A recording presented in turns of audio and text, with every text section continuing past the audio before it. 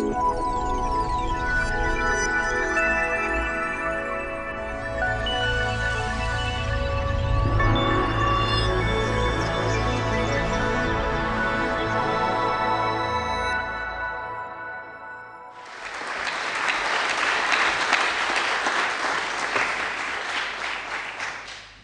uh, thank you, Rachel, and thank you all for uh, coming tonight and giving up a beautiful summer's evening and the chance to watch uh, Andy Murray. Um, uh, dealing with big ideas makes me rather nervous. I'm always reminded of when I was director of IPPR, and someone said of me, Matthew Taylor is the director of IPPR. It's a think tank. Unfortunately, Matthew is more tank than think. Um, I, that's not an impression that I confirm tonight. Um, I should thank uh, all my colleagues at the RSA who've helped with this speech. I to give particular thanks to one person who you won't see. You might uh, wonder as the slides start to move whether I'm controlling them with my mind, which would be in keeping with the speech. Um, uh, but in fact, they're being controlled by my fantastic PA, Barbara Corbett. And I'm just paying tribute to Barbara because her, the big love of Barbara's life is tennis. And she has given up centre court tickets today in order to do the slides. So I'd like to start a round of applause for Barbara.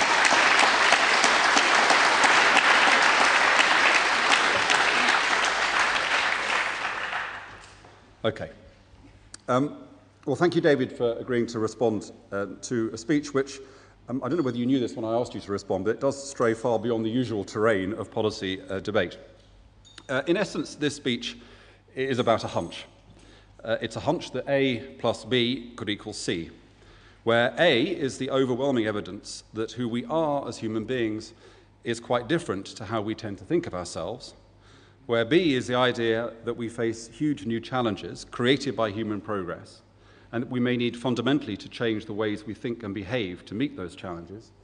And C is the suggestion that we could therefore see a paradigm shift in the way that we think about ourselves.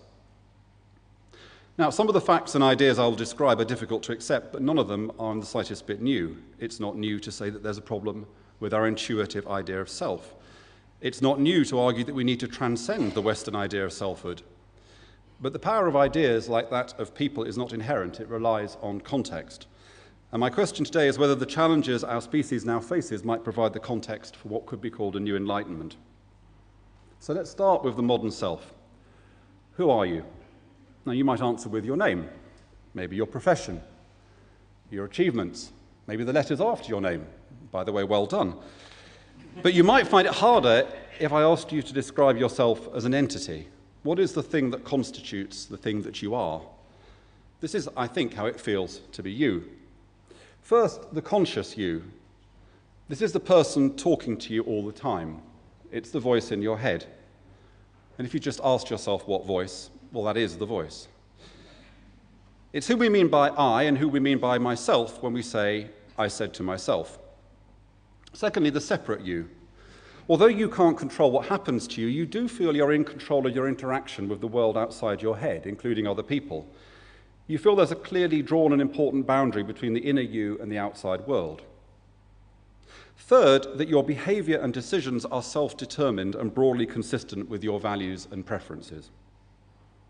Now, even if on reflection you question these intuitions, they are the foundation of our day to day sense of self. But the foundations of modern selfhood are shaky. Shaky because they don't stand up to scientific scrutiny, and shaky because they may not be helping us lead good and fulfilled lives. By the way, I'm not saying that the self is inherently selfish. I am saying it tends to perceive itself not only as the center of the universe, but as the cardinal unit of social reality. Now, the self already has many powerful enemies. Despite its monotheistic origins, the modern idea of selfhood is bemoaned by Christians for its shallowness and materialism, it's seen as a delusion by Buddhists for whom life's purpose is its abandonment. From poets to prophets, from psychologists to postmodernists, the self has had a bad press. But on the whole, this makes not a jot of difference the way we live our lives and think of ourselves. And even the biggest blow that's been landed against the dominance of selfhood, the discovery of the Freudian unconscious, has been subject to popular reinterpretation. For Freud, the relationship between the three aspects of the psyche, id, superego, and ego, was one of functional interdependence but the public understanding of the subconscious is more that it's a problematic adjunct to the self, a form of vulnerability and irrationality caused by, revealed during moments of emotional stress. So, why is it that our own sense of self survives the chorus of disapproval? Put simply, because it works. This is how life feels. I am in control of me is the only premise upon which I can imagine living day to day. It provides the tools I need to make my way in an individualistic world. The objective basis of selfhood lies, on the one hand, in our species' unique capacity for mental reflexivity, and on the other, in the major cultural forces of modernity scientific rationality, individualism, urbanization, consumer capitalism. In the terms of evolutionary psychology, the triumph of the self lies in the interaction of hardwired genes and powerful memes. Much of the economic and cultural triumph of the West can be laid at the door of modern selfhood. It's driven us to attain levels of affluence beyond the dreams of our ancestors, more progress in science and technology in two centuries than in the previous 140,000 years, more individual freedom for more people than ever before, the spectacular rise of China and India are in part the result of the global diffusion of the values and assumptions of Western selfhood. But what if this forward march were to be halted? What if the scientific evidence conflicting with our sense of self became so great none of us could ignore it? What if we came to feel that the challenges facing the human species now require us to change our ideas of ourselves? What if we started to see and appreciate a different way of being? Now, I'm going to suggest five conclusions that can be drawn from neuroscience, behavioral science, and newly emerging areas such as social neuroscience. Together, these five conclusions pretty much demolish the common sense idea we have of ourselves.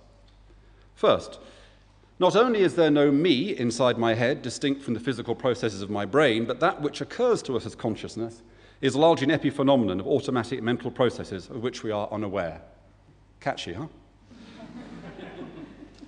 Two, the idea that our conscious self effectively polices the boundaries between us and the world outside us is an illusion.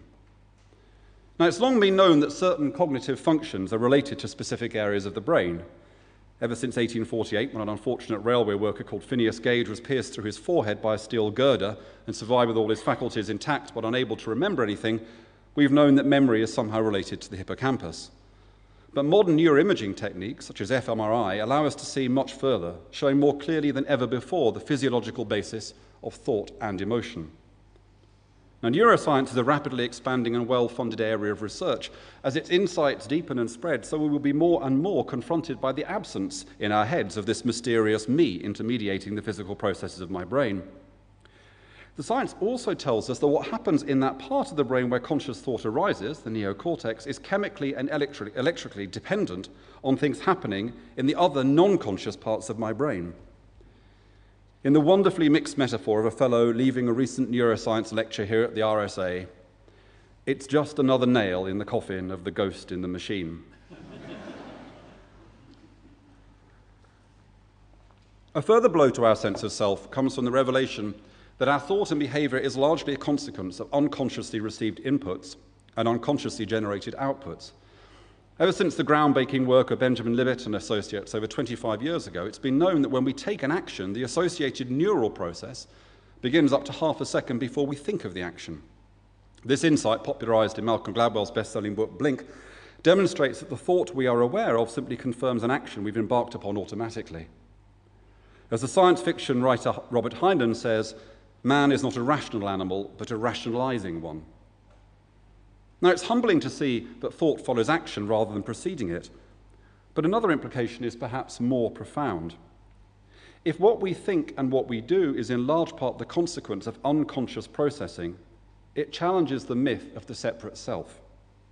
Instead of a self which polices the boundary between the inner me and the outside world, the reality is that our minds are embedded as unique nodes in a complex web of external stimuli.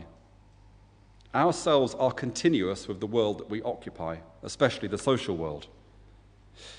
In his book Social Intelligence, Daniel Goleman summarizes evidence from the emerging field of social neuroscience that our interactions with people take place through what he calls the low road of unconscious processing. For example, two people having an intense conversation in the same space, not able to see each other, will soon be replicating not only each other's brain patterns, but also physical manifestations like crossing their legs or stroking their face. You may believe you're now reacting to me because you are thinking about what I'm saying, but there's also a whole other conversation between us of which we're not aware, but which is shaping your responses, including what you think that you're thinking. The third point is the way that we think and behave is as much a consequence of the context we're in as of our individual identity. The famous obedience experiments by Stanley Milgram, in which randomly selected students were on instruction more than willing to administer pain to strangers, provided the basis for the situationist argument that character is given more by context than by inherent traits. More recently, Philip Zimbardo's Stanford prison experiment provided graphic evidence that if most of us are put in a situation that encourages and incentivizes sadism, well, we'll soon get in touch with our inner sadist. On the upside, the initiatives of charities like the amazing Dance United, you'll hear on Wednesday, show how a capacity for creativity, self expression, and joy can be found in the most damaged and dangerous people. My two final points. We tend to get many important types of decision wrong, reflecting hardwired limits to our mental capacity. And the accounts we give of our prospects and pasts tend to be unreliable and self deceiving. These final observations are largely drawn from social science Ever since Daniel Kahneman's Nobel Prize winning prospect theory rejected the rational man approach to economics in favor of a predictive model, there's been an explosion of research into the idiosyncrasies of human decision making. Behavioral economists and social psychologists have demonstrated not just irrationality but self delusion in our decision making. We rely on a set of heuristics which contain systematic biases. We put the short term over the long term. We follow the crowd. We fill in the gaps in our knowledge with what we expect rather than what is there. At the risk of reductionism, an evolutionary psychologist might link our inherent short termism to a hardwired weakness in our system of perception. Without any clues, such as shadows or context, we have no inherent ability for perspective. We see small objects close by as big as large objects far away. This is a point made by the economic historian Avner Offer, explaining why governments find it harder and harder to win the case for intergenerational transfers. Offer describes a myopic government leading a myopic people. Now, unreliability is not just a feature of our financial choices. The psychologist Dan Gilbert has provided a brilliant summary of research showing how inaccurate are not just our predictions of the future, but our recollections of the past. We exaggerate the degree with which material success will make us happy and the extent to which misfortune will distress us. We're limited in our capacity for prediction, we're limited in the wisdom of our choices, but we are almost unlimited in our capacity to rationalize those choices. We thus create an illusion in which we are able to see ourselves as conscious architects of our own contentment when in fact we're simply reacting to outcomes we fail to predict. Another important insight into human perception comes in the work of Steven Pinker, who lectured brilliantly here at the beginning of the month. Pinker shows how the hardwired conceptual framework of language structures our thinking and orders our perceptions of the world into a coherent pattern. Pinker demonstrates how our use of language presupposes a theory of time and space, a theory which we need in order to make sense of the world but the problem is, this is not an account of time and space that would be endorsed by modern physicists. The hardwired conceptual framework of language allows us to think about the physical world while simultaneously distancing us from its reality. So, back to the social aspiration gap, the subject of my speech last year. The contingent nature of our view of reality reminds us of the concept of paradigm. A paradigm is a way of viewing the world that's so powerful and ubiquitous that we don't see it merely as a way of seeing the world, we see it as reality. It's only when the paradigm shifts that a completely different way of explaining phenomena comes into being. When Copernicus argued that the Earth revolved around the Sun, his theory was unconvincing to many not simply because it was heresy, but because he was unable to explain the observable phenomena that seemed to conflict with his theory. Like removing the earth from the center of the universe, questioning our idea of selfhood conflicts with many aspects of the reality we have built. I once heard someone reply to the question, What's it like to be an only child? By saying, I don't know, I haven't got any brothers or sisters. Similarly, if you were to ask me what it might be like to live within a different idea of selfhood, I could only reply, This is beyond the imagination of my current self. We can't think of the answers until we can find a new way of asking the questions. But this won't happen simply because research conflicts with our intuition. As I've said, the ideas that I've discussed have been around for some time. Insight must combine with necessity. This time last year, in my first annual lecture as RSA Chief Executive, I described the social aspiration gap, the gulf that separates our hopes for the future from the future we're likely to create relying on currently dominant modes of thought and behavior. To close that gap, I argue for a pro social strategy. Now, I believe a pro social world would be a much better place to live. But regardless of my preferences, it may also be the only place we can realistically hope to survive and prosper. Because our species is in the grip of a potentially fatal paradox. Human progress has generated challenges that human beings seem unable to resolve. Science, markets, technology have precipitated an accelerating process of change which has arguably outstripped our capacity to adapt. Now, there are two very obvious examples. The first is climate change, to which we can now link the even more pressing issues of resource shortages. If the billions in the fast developing world choose to eat, drive, or own half as much as we do, economic turmoil and heightened conflict over access to resources are inevitable, with climate disaster following fast behind. We simply cannot go on living like this. Another example concerns population aging. The current rate of increase in life expectancies in most parts of the world is remarkable. By the time I finish this 30 minute speech, your life expectancy will have risen by five minutes, although your will to live may have diminished. Thank you. Um, but healthy life expectancy is not rising as fast, which means a growing care gap. An alien arriving in our country and asked to assess our degree of civilization would surely be shocked. How can we treat a status to which we all presumably aspire, in that we'd rather not die young, as some kind of social stigma? And how is it that when so many of us will end up vulnerable and in need, that we don't see the current state of care as an intolerable scandal? This is not just a matter of failing to empathize with people who are different, which is problem enough in itself, but not empathizing with the people we ourselves going to be in the very near future. An echo there of Offer's myopic public. Overall, we seem to be in a painful and uncertain transition between the people we are and the people we need to be. We are resistant to being governed, but we are unwilling to govern ourselves. We like the upsides of globalization, but we find it hard to live with the challenges and responsibilities. To say we are citizens of the world is as obviously true as it is obviously premature. We've gone from simple needs to complex wants, but we don't seem to have a clear understanding of what we actually need to live fulfilled and responsible lives. Now, against this background, and often in response to specific policy challenges like tackling binge drinking or promoting recycling, there's been an explosion of interest amongst policymakers, like David, in behaviour change. And however welcome may be small changes in behaviour, my contention, in Einstein's phrase, is that we cannot use the same tools to solve problems as we used when we created them. Civic engagement, self sufficiency, and altruism cannot be won simply through exhortation and incentives. They require a more fundamental shift. Basil Fawlty famously introduced his wife thus Meet Sybil, specialist subject, the bleeding obvious. It may be that all my observations deserve Basil's barbed, barbed response, but it's equally obvious that few of them are influencing the way that we live our lives and organize our society. In a long tradition upheld by figures from Schopenhauer to John Gray, there are those who deride the illusion of selfhood. Human beings are simply a particularly destructive species, suffering from the delusion they can control their destinies. Gray believes we can never catch up with the forces we've unleashed. He says, Technical progress leaves only one problem unsolved the frailty of human nature. Unfortunately, that problem is insoluble. Most of us adhere to the reverse argument there is no problem. The self that has created today's challenges is the self that will resolve those challenges.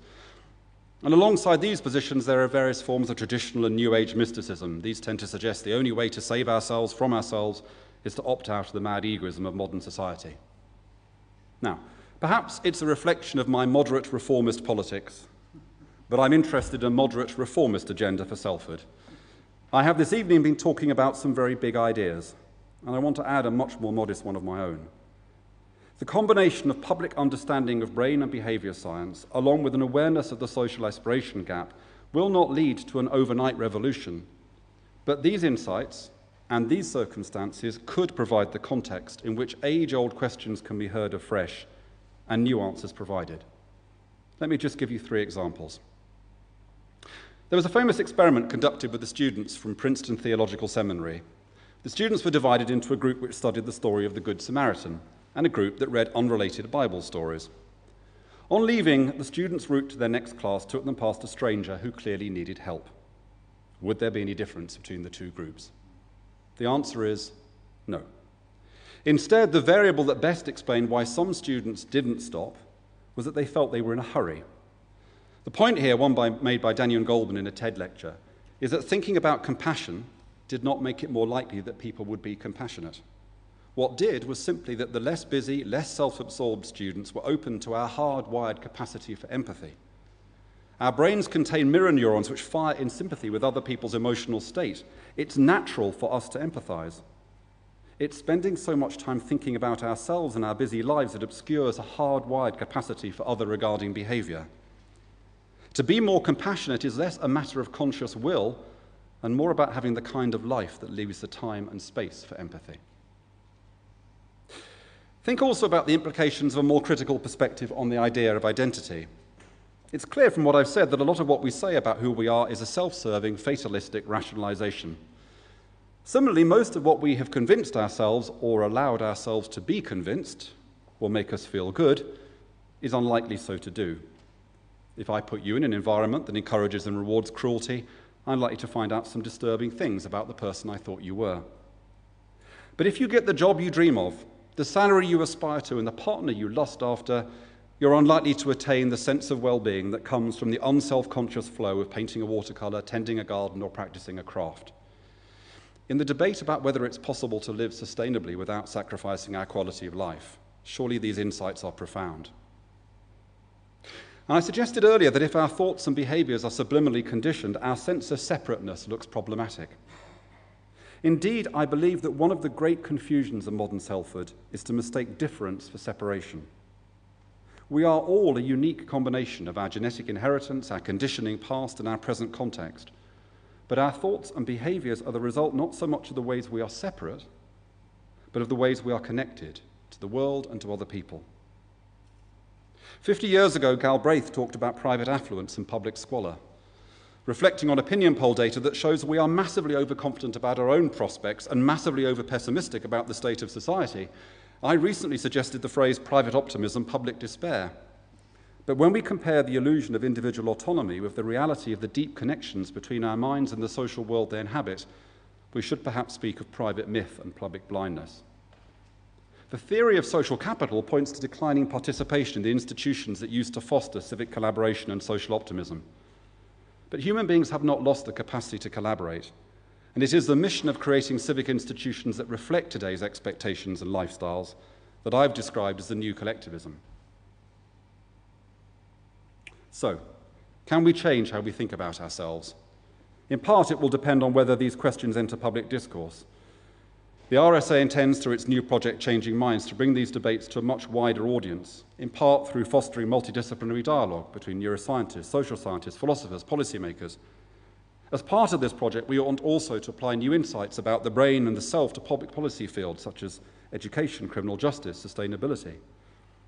Already, pension policy is being guided by behavioural economists. Social marketing campaigns are based on the insights of what Robert Cialdini calls the new science of persuasion. But change could be much more far reaching.